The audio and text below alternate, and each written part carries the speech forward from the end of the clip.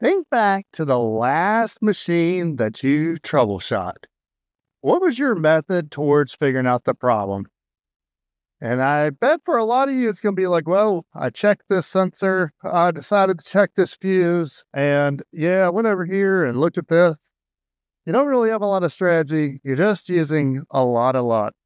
As this happens every week at our class. And I let them do it because I think it's an important thing for us to understand. They'll they'll have a problem because yeah, we have one machine back here, and that's its whole job is to simulate brakes. And they're checking this, they're checking that, they're checking this. And finally I'll stop and like, okay, so what's your strategy here? How are you gonna figure this out? And they're like, Well, our strategy is to fix the machine. I'm like, no, that is our goal. That's what we want to do is get the machine back running. Our strategy is how are we going to go about this? And that is something that I don't think a lot of us really put a lot of thought into. So we want to treat it just like a crime scene. We want to observe every bit of evidence. And then we want to pick the action item that is not doing what we hope it to do. Now, when I say action item, this button here does not do action. It is an input.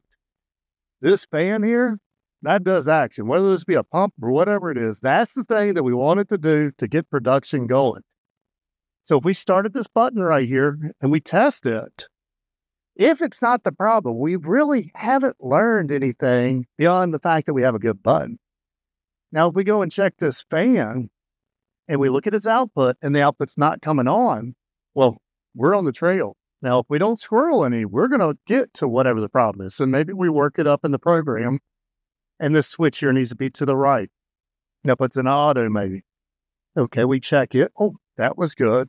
And we keep working our way up. Eventually, we're going to get to the problem.